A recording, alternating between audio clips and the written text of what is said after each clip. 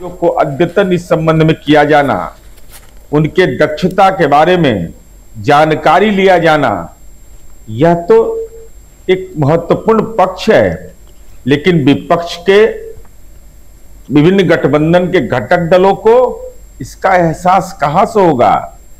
न आपको न्याय से मतलब है, न साक्ष्य से मतलब है, न नागरिक सुरक्षा से मतलब है। मतलब अगर है भी तो मान्यवर लालू जी के परिवार का केवल पटना में तैतालीस बीघा बारह कट्ठा सोलह धूर ज़मीन सुरक्षित रहे, इसकी चिंता इंडी गठबंधन के घटक दलों को है। यही बिहार के आम आवाम को नीतीश कुमार जी के कानून के राज पर भरोसा है।